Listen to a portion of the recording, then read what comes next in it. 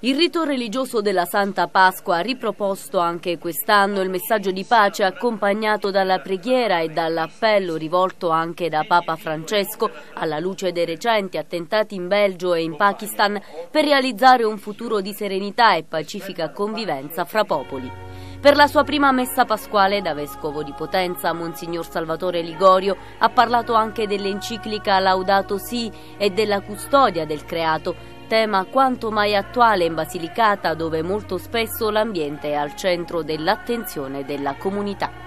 La risurrezione di Cristo dunque come messaggio di speranza, di rinnovamento, di vita nuova, quella che si apre per i credenti con il battesimo. E per la Pasqua quest'anno tra i nuovi battezzati anche un ragazzo nigeriano, ospite in uno dei tanti centri di accoglienza della Basilicata, convertitosi al cristianesimo e per questo perseguitato nel suo paese di origine.